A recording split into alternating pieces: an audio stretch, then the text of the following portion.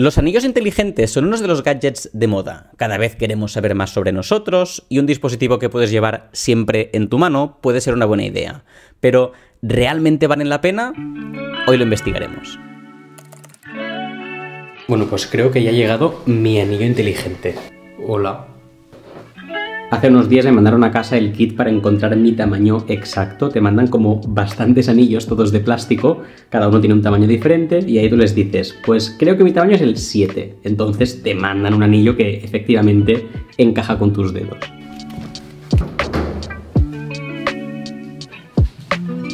Y nada, han pasado como cuatro días y ya tengo mi anillo en mi casa.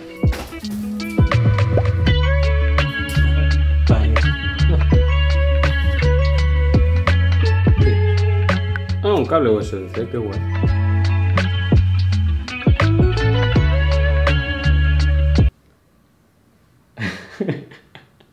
Pues creo que con esto un poco ya está. Eh, viene con una aplicación donde puedes ver todos estos datos, pero tarda unos días en calibrarse, así que imagino que nos vemos en unos días.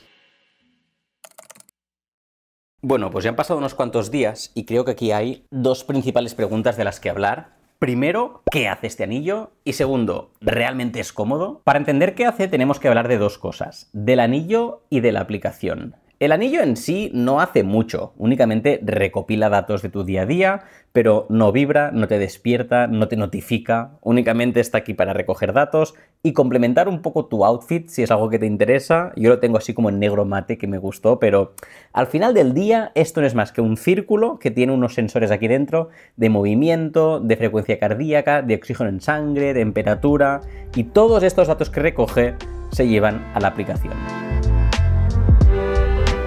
La aplicación es esta de aquí, que tienes acceso gratis una vez ya has comprado tu anillo. Y puedes ver que lo primero que te da son unas puntuaciones sobre 100 de diferentes cosas, como el movimiento, yo tengo un 100 de 100 porque esta mañana he ido a entrenar, también tengo puntuación de estrés, de recuperación, de sueño, tengo un 85 del sueño, y lo que me gusta, lo que veo muy práctico aquí, es que él te interpreta muchos de los datos que recoge para darte un poco una sensación de cómo estás. Es decir, hoy tengo una puntuación de 85 de sueño porque está juntando mi frecuencia cardíaca y mi temperatura corporal y cómo he descansado durante la noche y esto lo interpreta con un 85, que es un número que depende mucho de sus algoritmos a ver si realmente están bien hechos o no. Pero bueno, ya te va un paso más allá de darte un dato que si quieres puedes seguir haciendo scroll y realmente encontrar estos datos. Puedes ver tu frecuencia cardíaca, puedes ver tu temperatura corporal, o sea, si a ti te interesa ver un número, pues lo vas a encontrar. Pero creo que es interesante esta interpretación. Además, en esta misma pantalla inicial también puedes ver arriba del todo que me da algunas recomendaciones para mejorar mi bienestar. Y por ejemplo, me está indicando que mi ventana de tomar cafeína, ahora mismo estoy en el final, me dice que a partir de las 3 y 51 sería mejor que no tomase cafeína para que a la hora de ir a dormir estuviera bien y puedes ver que estoy aquí ya con mi café, así que estoy cumpliendo hoy pero casi nunca lo cumplo, en realidad. Y también puedes ver, por ejemplo, que me da indicaciones también sobre exposición a la luz solar y cómo esto puede afectar a mi ritmo circadiano. Y ahora mismo estamos en una zona como muerta, ahora da igual, pero por la mañana y por la noche te dice, oye, si ahora sales al aire libre, sales al balcón y te da un poco de luz solar, esto te puede ayudar a tus niveles de energía y de estado de ánimo durante el día. Así que si quieres hacerle caso, puede ser cositas que a lo mejor te ayuden a estar de mejor humor, un poco mejor de tu bienestar.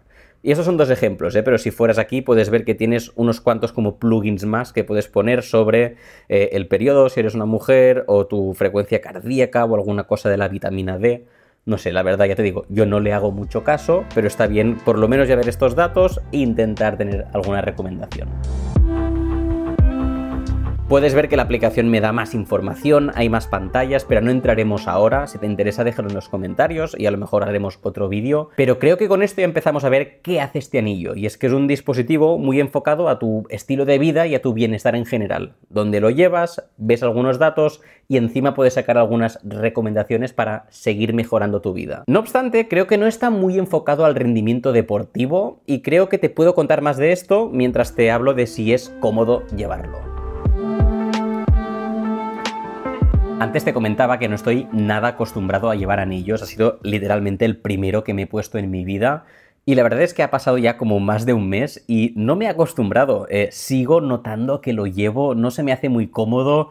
Eh, de hecho, cuando me he bañado en el mar o la piscina, como que tenía miedo de que se me fuera a salir. Y esto a lo mejor es totalmente personal, ¿eh? A lo mejor tú eres una persona que te gusta llevar anillos, justamente te molesta a lo mejor llevar cosas en las muñecas, no te gusta cómo se ve, no te gusta cómo se sienten, pero a mí personalmente no me ha gustado. No obstante, sí que he escuchado que llevar el anillo en el dedo índice es como una buena idea, porque aquí es fácil leer ciertas cosas como tu frecuencia cardíaca, etcétera. Se ve que justamente llevarlo en la muñeca donde llevamos los relojes y así es como más complicado que te hagan buenas mediciones. Pero además se me junta que este anillo no convive muy bien con mis entrenamientos, porque me paso el rato en el gimnasio agarrando barras y mancuernas y distintos agarres, y esto ni es cómodo y luego me da mucho miedo de que primero se va a rayar el anillo, pero segundo, para los sensores no es bueno que esté ahí yo metiéndole presión con una barra. Lo que al final me acabo quitando el anillo para entrenar y resulta que el momento de mi día donde más me muevo, más sube mi frecuencia, más me interesa que me traquee, pues el anillo está como en mi bolsillo porque si no, no es cómodo. De hecho, un día casi lo tiro a la basura porque estaba en el bolsillo y ni me enteré. En fin, estás viendo que, aunque me gusta la idea del anillo, no se está adecuando mucho a mi estilo de vida. Me cuesta darte una opinión objetiva sobre su comodidad. ¿eh? Creo que si a ti no te incomoda llevar anillos y el deporte que haces eh, no requiere que estés agarrando cosas porque sales a correr, vas en bicicleta, puede ser un buen anillo. Eh, además, la batería sí que es un punto que me ha gustado. Siendo un anillo tan pequeño, como que diría que fácilmente me está durando 4, 5, 6 días la batería. Para cargarlo te lo quitas y lo pones en una pequeña base de carga que viene. Pero estos días de batería, que es que realmente es muy pequeño, ¿eh? para que aguante 4 o 5 días, pero te permite que te vayas todo un fin de semana y no te preocupas en ningún momento, lo llevas puesto y cuando toca la aplicación te avisa y lo pones a cargar. Entonces, ¿vale la pena este Ultra Human Drink Air? Pues cuesta unos 379 euros, lo cual no es barato, pero en la descripción puedes conseguir un 10% de descuento si vas de mi parte. Pero ya es un poco lo que cuestan estos dispositivos. Si miras otras alternativas, están por ahí. Y aquí sí que he encontrado algunos puntos positivos, como que primero no hay que pagar ninguna suscripción para la aplicación y ver tus datos, así que una vez has pagado el anillo, ya es tuyo. Es compatible con Android y con iOS, así que da igual qué móvil tengas, lo podrás utilizar. Por ejemplo, hay el anillo de Samsung que solo funciona con teléfonos Samsung. Y además, creo que es un tipo de dispositivo que una vez lo has comprado, no tienes que tener miedo de es que si el año que viene sale otro que es mejor. Porque al final es un anillo, o sea, aquí ¿qué más le van a poner? No es como que un móvil cada año pues más megapíxeles y un procesador y tal.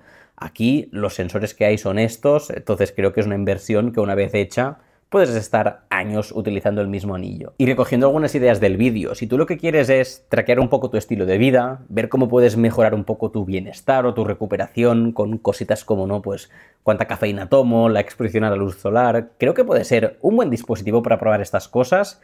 Y si además no te incomoda haciendo el deporte que tú practiques el tener algo en las manos, creo que es muy interesante. En mi caso, con mis particularidades muy personales, eh, veo que la WUP, por ejemplo, se adecua más a mis entrenamientos, mi estilo de vida, pero eso te lo cuento si quieres en este vídeo, donde analizamos un poco la WUP, ya la he llevado muchos días, así que puedes ver otro dispositivo. Y además te puedes suscribir al canal para no perderte futuros vídeos. Adeu.